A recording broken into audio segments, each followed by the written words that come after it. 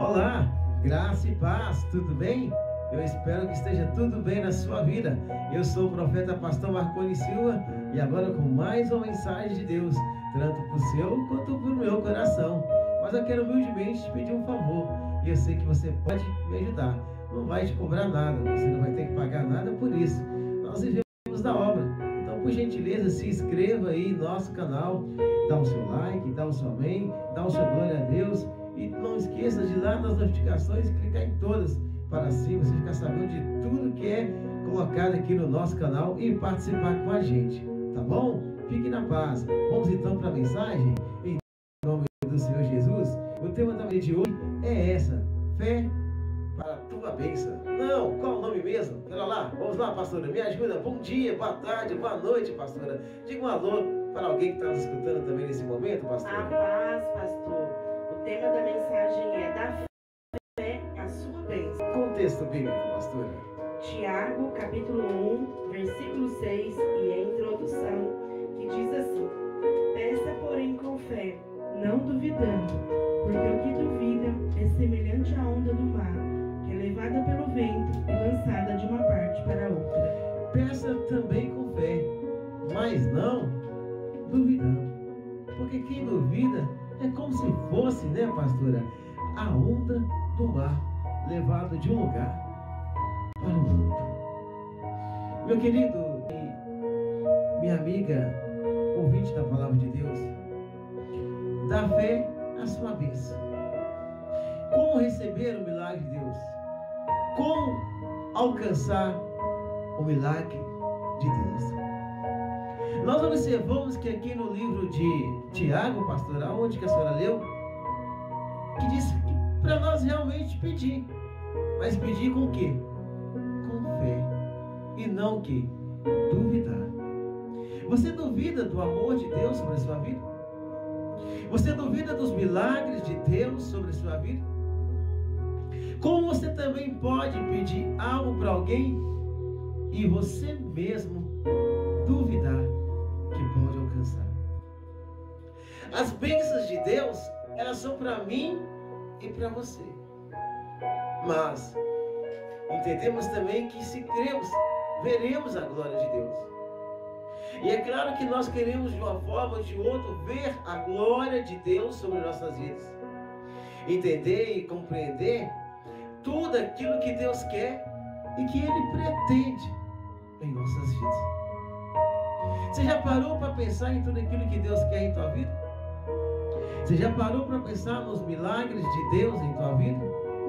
Você já parou para pensar nas bênçãos as quais você tem que requerer e pedir a Deus que venha te dar todos os dias? E como fazer, minha amada pastora, crescer muito em verdade? Mas, outrora, sabemos que temos que sabermos como usar a fé e através dela alcançar o milagre sobre a nossa vida. Às vezes nós sofremos, às vezes nós passamos por tantas dificuldades e nós esquecemos. A palavra diz assim: o meu e o meu povo perece por quê, pastor? Porque não conhece E muitas vezes é necessário nós conhecer as escrituras. Entender o que está escrito lá e o que ela quer dizer, pastora, para mim e para você.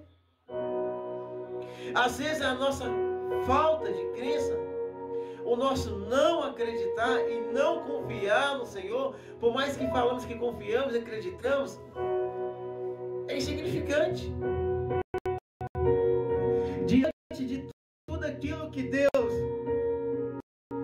ele tem para nossas vidas. Pois um próprio comentário do nosso fala dele que diz assim: se tiveres fé de um, de um grão de mostarda. Você já imaginou como é de um grão de mostarda? Veja na imagem.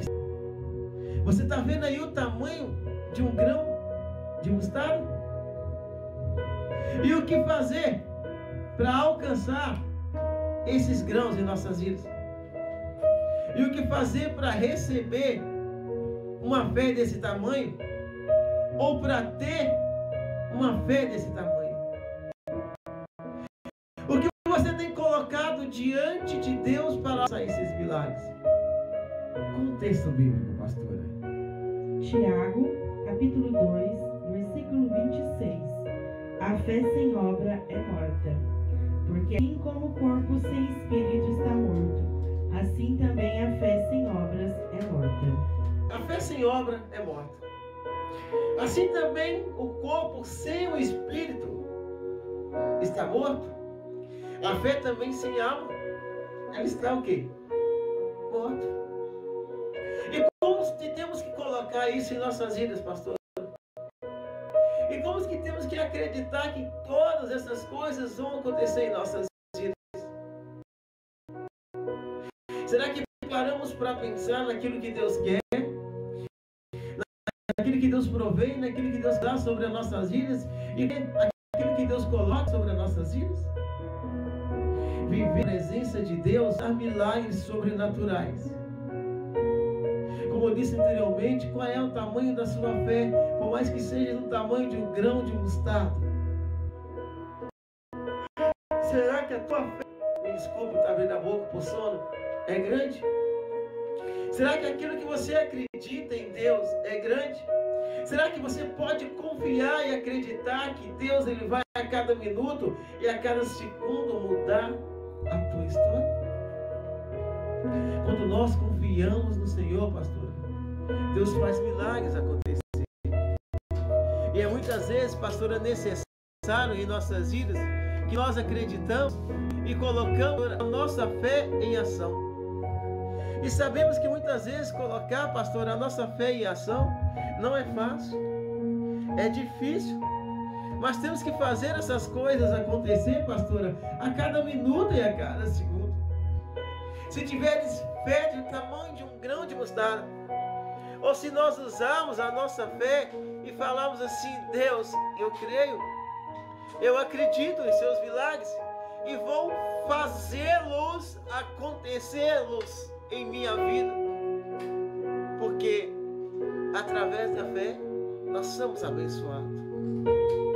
E precisamos, pastora, confiar e acreditar que Deus ele está fazendo por onde e que depende, muitas vezes nós fazemos por onde. Não entendemos, pastora, e nem compreendemos isso em nossas vidas. Porque falta acreditar. Deus, eu preciso de um sinal. Deus, eu preciso de uma resposta. Ah, eu pedi a Deus. Será que vai acontecer? Mas serve para mim e para a senhora, pastor. A fé, pastora, sem obra, ela é o que?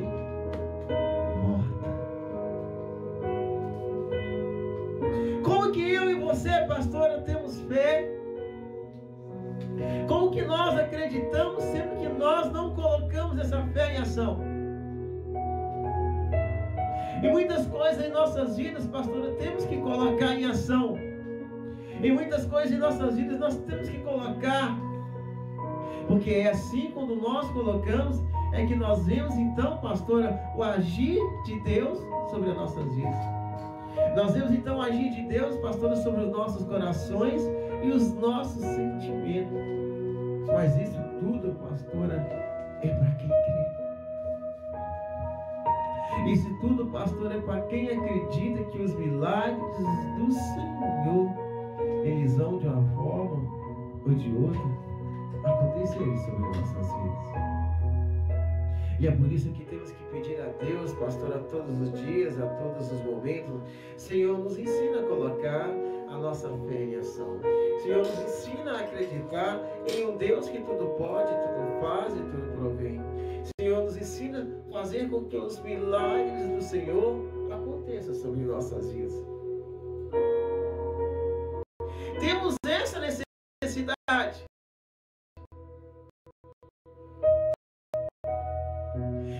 permitir que essas coisas aconteçam em nossas vidas.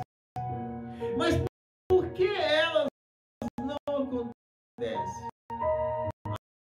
A fé sem obra, enfim, ela é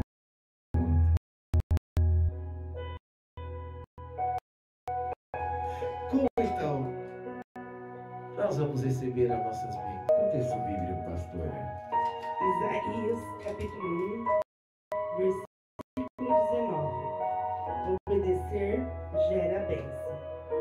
Se quiseres e ouvirdes, comerei bem dessa terra. Se quiseres e ouvirdes, comereis o bem. Obedecer gera bênção. Obedecido? Obedecer a Deus é algo uma coisa muito interessante. Saber que você obedeceu Ele, e Ele coloca representante, é um pastor, missionário, missionário, um presbítero. É através dessas coisas que somos analisados se estamos realmente obedecendo ou não. E aí é a pergunta que eu te faço: existe obedecendo? Está realmente colocando tudo nas mãos do Senhor? Tem entregue isso nas mãos dele tem falado para ele: Olha, Senhor, cuida de mim. Olha, Senhor, cuida da minha vida. Olha, Senhor, faz acontecer porque o Senhor sabe das minhas necessidades. Olha, Senhor, tu sabe daquilo que eu preciso, daquilo que eu necessito e daquilo que eu quero que aconteça sobre a minha vida. Tem que saber. Porque quando nós sabemos, os milagres do Senhor acontecem. Mas, e o que você tem feito para isso? A fé é pouca? A fé é grande? Contexto bíblico, pastora. Ageu capítulo 2, versículo 8 e 9. E é a conclusão que diz assim: Minha é a prata e meu é o ouro, diz o Senhor dos Exércitos. A glória dessa última casa será maior que a primeira, diz o Senhor dos Exércitos. E neste lugar darei a paz, diz o Senhor dos Exércitos. Para encerrar, minha é a prata, meu é o ouro. A glória da segunda casa será maior do que a primeira. É necessário nós colocarmos tudo, sabe aonde? Nas mãos do Senhor. E entender e compreender que Ele vai agir, que Ele vai fazer acontecer, que Ele está fazendo acontecer e que as bênçãos de Deus elas estão todas sobre a minha e sobre a sua vida. Agora, fazer essas coisas acontecerem é fácil, pastora? Não. É complicado, pastora? Não. Conseguimos fazer acontecer? Sim. E o que temos que fazer para tudo isso? Acreditar e confiar em Deus. Quando nós confiamos em Deus, quando nós acreditamos em Deus, nós vemos que assim os milagres acontecem sobre as nossas vidas. E é importante nós entregarmos todos os dias as nossas vidas aonde? Diante desse Deus que tudo pode, diante desse Deus que tudo faz. Ele vai fazer tanto na minha vida quanto na sua vida. Mas tem colocado nas mãos dele. Tem feito acontecer. Tem acreditado que Deus ele vai te dar vitória. Porque da fé a sua bênção. E muitas coisas são nós mesmos que temos que fazer. Se Deus ele sempre assim, com as mãos estendidas, está na hora de nós agirmos. Está na hora de nós, sabe o que? Fazermos acontecer. E eu quero fazer acontecer. Você quer fazer acontecer? Feche seus olhos. Ora comigo, só 30 segundinhos. Senhor Deus, eterno Pai, eu quero colocar a vida desse irmão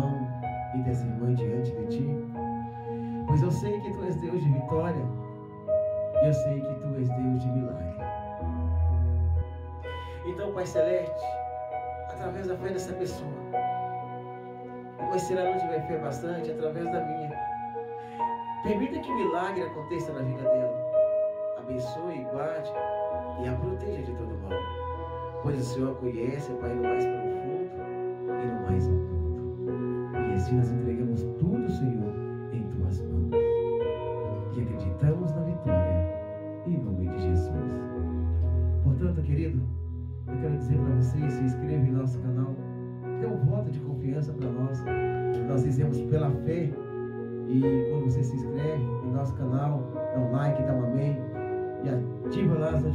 coloca tudo.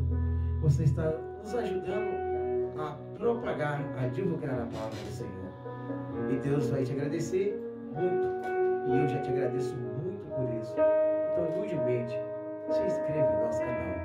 Pois voltaremos amanhã no mesmo horário, nesse mesmo canal, com mais uma mensagem de fé para o meu e para o seu coração. Amém? Fique na paz, porque nessa mesma paz eu estamos em